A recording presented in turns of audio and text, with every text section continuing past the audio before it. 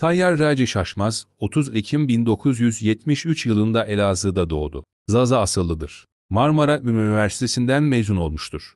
Osman Sınav'ın yönettiği Deli Yürek dizisinin senaristliğini yaptı. 2001 yılında ilk sinema filmi olan Deli Yürek, Bumerang Cehennemi'nin senaryosunu kaleme aldı.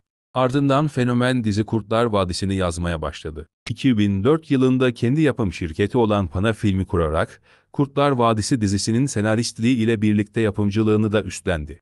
Ekmek Teknesi, Eşref Saati, Kurtlar Vadisi Terör, Kurtlar Vadisi Pusu dizilerinin yanı sıra Muro, Nalet Olsun içimdeki insan sevgisine, Kurtlar Vadisi Irak, Kurtlar Vadisi Gladio, Kurtlar Vadisi Filistin filmlerine imzasını attı.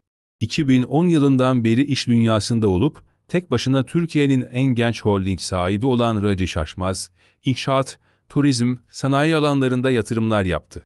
2015 yılında Pana Yapı şirketini kurdu ve Eşkıya Dünyaya Hükümdar Olmaz isimli iddialı dizisiyle senarist ve yapımcılığa geri döndü. 2019 senesinde dizi oyuncularının maaşlarını ödeyememesi nedeniyle diziyi ATV iç yapımlara devretti.